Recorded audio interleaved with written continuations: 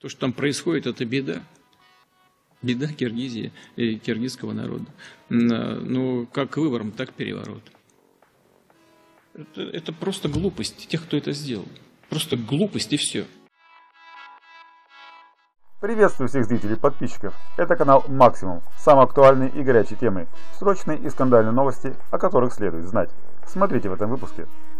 Быстро разобрались. Почему киргизы так мгновенно, по политическим часам, буквально за неделю сменили власть? Как у них это получается? И самое главное, это происходит уже не в первый раз. Попробуем вникнуть. Давайте побунтуем. Киргизия не единственная страна, где так часто и с охотой народ выходит на улицы. В случае с Киргизией протесты заставили уйти в отставку чуть ли не всю власть. Однако в Таиланде все намного интересней. В общем, обо всем это подробнее прямо сейчас смотрите на канале Максимум. Киргизии совершили государственный переворот буквально за одну неделю, причем малой кровью. Пока в СМИ обсуждали, как будут развиваться события на территории одной из стран СНГ, Протестующие быстро разобрались с действующей властью, добившись полной ее смены. Президент ушел со словами «не хочу проливать кровь» и отдал свое место другому человеку. Интересно то, что в Киргизии это уже не первый переворот, который происходит за пару дней без гражданской войны и длительных забастовок. Почему так происходит? Нарушение на выборах. Оппозиция Киргизии придерживается официальной версии переворота – множественные нарушения на выборах, которые прошли 4 октября 2020 года. Однако политологи утверждают, что все не так просто. Проблема состоит в том, что нарушения на выборах президента или депутатов происходят в этой стране крайне постоянно. Местные жители давно привыкли, что ни один местный политик не может прийти к власти без каких-либо махинаций. Как правило, депутаты просто покупают голоса, но революцию решили сделать только сейчас. Забавно, что многие оппозиционеры таким же образом приходили к власти, но только сейчас вывели людей на улицы. Смысл революции в Киргизии лежит намного глубже. Его следует искать среди социальных и внешних проблем. Социальный кризис. Кризис в социальной сфере начался в Киргизии с приходом пандемии. Режим самоизоляции и другие ограничительные меры отразились на экономике страны. Киргизы перестали ездить на заработки в Россию, Многие местные фирмы начали закрываться. Огня подбавила киргизская медицина, которая попросту не справлялась с наплывом больных. Коронавирус коснулся даже элиты страны. Заразились и умерли многие влиятельные люди. По итогу кризис достиг таких масштабов, что было достаточно поднести спичку, чтобы вспыхнул костер революции. Также повлияли внешние факторы, Немаловажным явлением и внешний фактор. Американцы начали подводить свои силы еще в 2019 году. Представители американского фонда National Endowment for Democracy встречались с местной оппозицией и прямо обсуждали создание общественно-народного фронта против власти. Причем в СМИ попадали очень интересные записи этих бесед после которых в стране произошла первая революция в августе 2019 года. В этом году все было намного проще. Ко второй волне смены власти начали готовиться в прошлом году. Тогда были приняты законы, усиливающие работу НПО, напрямую финансируемые американцами. Долго ждать не пришлось. Подходящий момент был подобран идеально, когда бурление среди населения достигло точки кипения – Оппозиции дали команду ФАС. Политика США по отношению к бывшим странам Союза достаточно простая. Разделяй и властвуй.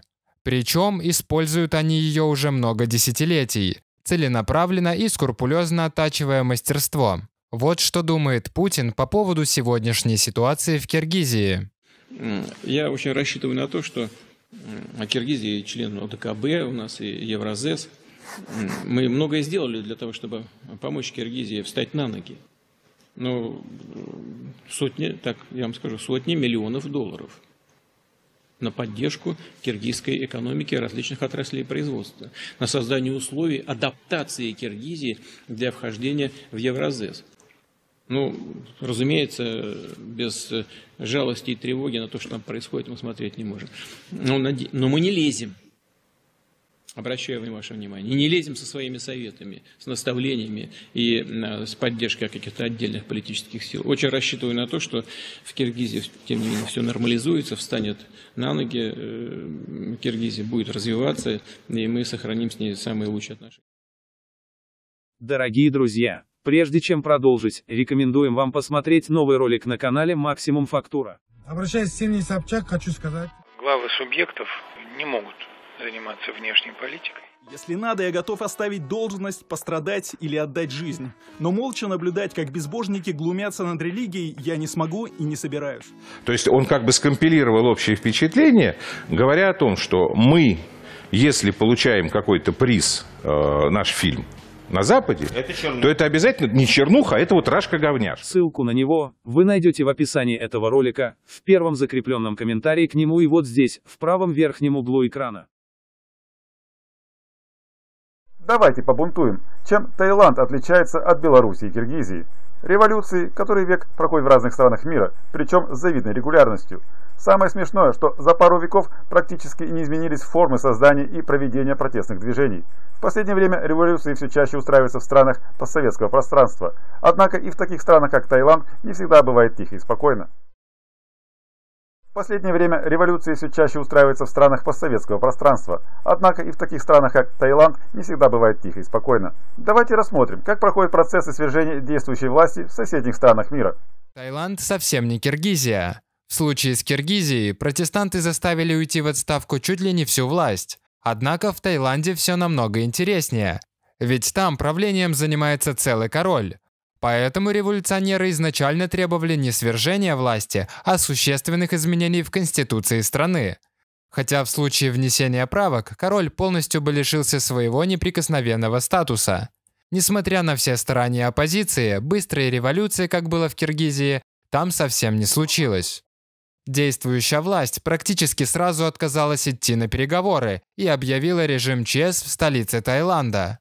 Город и жители будут находиться на особом положении вплоть до середины ноября 2020 года. Протестующих это только подстегнуло. Они сразу вывели на улицы более 15 тысяч человек. Интересно то, что в столице проходит шествие намного чаще, чем в той же Беларуси. Революционеры также захватывают здания, а местная полиция пытается разогнать их водометами и другими гуманными средствами. При этом большая часть протестующих – это люди возрастом до 40 лет. Революция новых ценностей. Эксперты ранее заявляли, что все революции всегда зависят от возраста протестующих. Такое явление далеко не новое, ведь каждое поколение старается добиться лучшей жизни.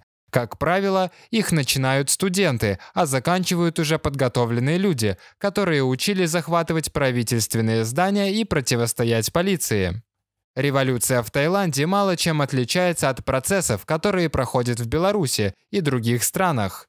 Фактор внешнего вмешательства никто не отменял, но в Таиланде он ощущается достаточно слабо. Конечно, там также есть американские фонды, которые проплачивают определенные процессы. Однако на внутреннюю политику Таиланда больше влияет Китай.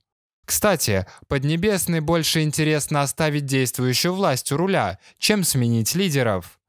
Сейчас революция там создается по классическому сценарию затяжных процессов, а главным лидером выступает вечный студент и оппозиционер Джошуа Вонг.